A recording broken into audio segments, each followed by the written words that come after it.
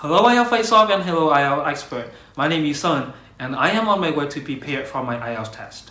However, just during the process of practicing for it, I struggle a lot with IELTS reading. I keep reading, skimming, and scanning a lot, a lot all over again. But at the end of the day, I still cannot keep in my mind the main points and some main information about this passage. So I am now here to ask uh, expert, uh, how can I improve my IELTS reading uh, skill in particular, and how can I improve my uh, English reading skill in general. Thank you. But you also mentioned about the struggle of our student in the video um, at, in, at the beginning of the show. Mm -hmm. So do you want to kind of um, clarify a little bit more on like, can you help our student to address the question?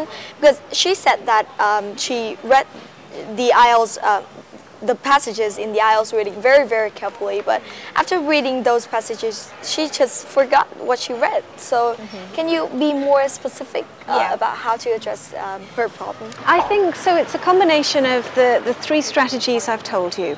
The first thing is she needs to focus on finding topic sentences. That's really, really important. So she needs to spend time doing that. The second thing is she needs to learn to map out the text, to get the main ideas, to get it straight in her mind what they're arguing. Um, and the third thing is she needs to practice looking at traps.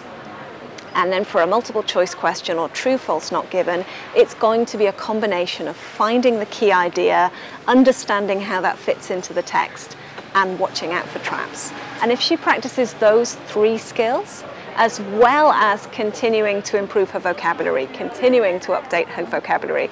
And I think if we're anywhere near a bookshop later, I'll show you a couple of books that might help right. our viewers a little bit with that. That'd um, be great. But those three things together are going to improve her performance step by step. But just remember, please don't try to improve your reading test skills by only doing reading test. Definitely. It doesn't work. You yeah. have to break it down and practice individual skills first. Right, I think your advice uh, is going to be very helpful for our students. Now it's time to study IELTS.